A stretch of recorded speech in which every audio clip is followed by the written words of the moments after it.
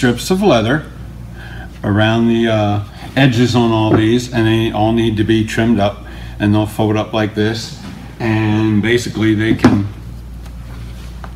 after they've had a little lubrication on them, they can go in here and they'll, yeah, that one's pretty tight, that one's pretty tight. They're tight, which is a good thing. Yes. That way, as time goes by, they'll, they'll retain their uh, tightness and the pipe will continue to speak and not have stoppers falling to the bottom where right. they're impossible to get out once it's in the situation. So basically, you want a real nice snug fit.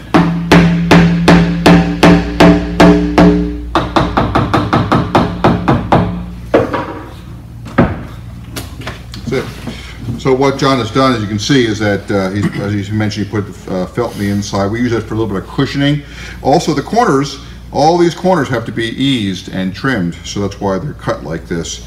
And uh, every single stopper that's redone has to be custom fitted. So there is a little bit of give and take uh, in it, so it's very, very labor intensive. Once the sides are uh, fitted on there, they're glued down.